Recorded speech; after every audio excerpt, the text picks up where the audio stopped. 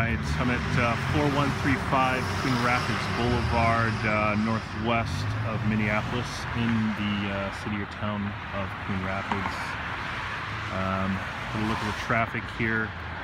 Um, this place is for sale or lease. It's an old industrial gas business. Uh, forget the square footage. We'll take a look inside. The industrial gas business has moved out back.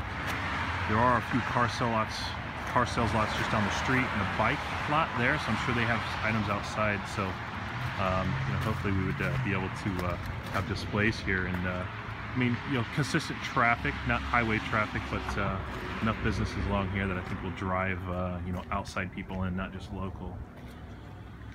Let's see if we can get a look inside here. Yeah, pretty decent, uh, pretty decent showroom. Tall too, probably 10 foot ceilings. Nice little uh, desk there. Yeah, uh, it's pretty good here. Probably can't see through on the phone, but my eyes can. So, um, but uh, all in all, looks uh, looks pretty good. Quick little round here.